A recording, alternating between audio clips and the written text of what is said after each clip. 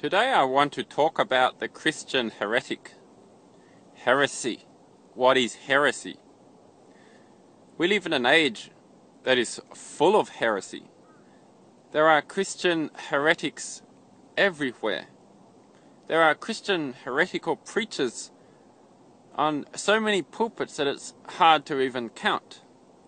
There are Christian heretics all over YouTube, all over the internet.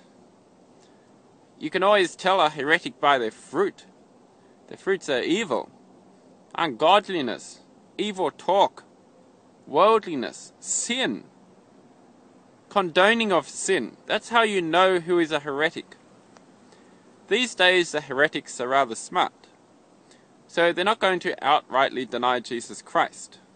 That is the heretical spirit that is behind these people. Rather, these lying spirits will make people believe that they can be saved just because they profess the name of Jesus, even though Jesus said so very clearly, Not everybody who calls me Lord, Lord will enter into my kingdom, but he who obeys me. It's he who obeys me who loves me. That's what Jesus said. Now, Jesus said that uh, there was two sons, and one son was asked, "Could you go and work in the vineyard?"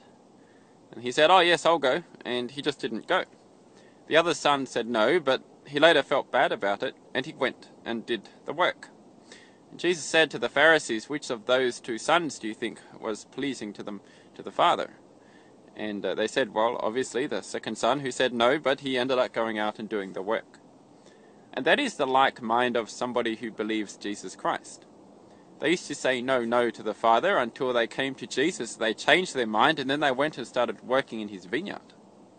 Uh, they left their sins, they left their evil. Now, Christian heretics will always forget that we cannot follow Jesus and mix in the world at the same time. You see, the heretic uh, dresses as the world dresses. Uh, they have the look and the lust and the desire and the fun and the acceptance of the world. That is why the world accepts them. Uh, a heretic preacher is somebody who, who goes around and lives in sin. They preach a sin accepting gospel. Uh, they themselves do not live on the narrow way as servants and followers and disciples of Jesus Christ. These heretic preachers will lead you to believe the lie that you can just live your own way and believe in Jesus, and it's all grace, you will be saved. When, in the matter of fact, it's written in 1 John chapter 3 that anybody who continues to sin doesn't know the Lord. John wrote that nobody who knows the Lord will continue to sin, and that he who does continue to sin doesn't know him. And this is exactly right. Because Jesus is not the way of the heretic. Uh, the way of the heretic is that Jesus is somehow in the background, he's way up there in heaven, and uh, all you do is believe and then you just go on about your own life. Uh, it's all very nice and comfortable when they feel Jesus isn't right down here. He's all the way up there, where you just have to believe, they think. But we who know Jesus know that this is a lie, because Jesus comes to be within us who follow him. He actually speaks and leads and helps us, and He's a reality in our life. Uh, the heretical preacher doesn't want to know that because they don't want to be accountable for the Lord, to the Lord. It's all nice and comfortable to keep Him up there, and let's all just live our life down here and go by what the Bible says or what we think it says. That's the way of the heretic. They do not have a reality, reality of Jesus in their life. They are not led by His Spirit and they're preaching from their own opinions and wisdom of man. There is only one gospel, and there's only one gospel that saves, and that's the gospel of Jesus, not the gospel of the heretic. The one who speaks, the one who leads, the one who died on the cross for us, the one who rose again, the one who sent his Holy Spirit to dwell in you who accept him.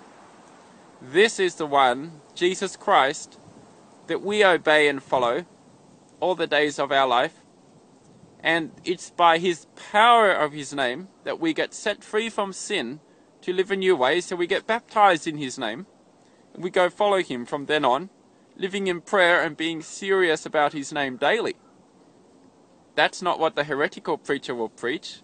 He'll just preach some message about, oh, it's all grace, don't worry, you know, it's all fun, you know, it's all good, you know, just live your own way, you know, just give us some money, uh, you know, just keep away from big sins, but it's alright about all the little sins, God understands. No, He does not. I will say it again don't listen to the heretical preacher because they will bring you into the fires of hell with them. You have no excuse. We have the gospel right here and now. I'm telling you the true gospel. You go follow Jesus of heaven who's here right now among us. You obey him. You leave your sin. You be serious about him. He's going to lead you. Come away from the heretical preacher. May the Lord bless you.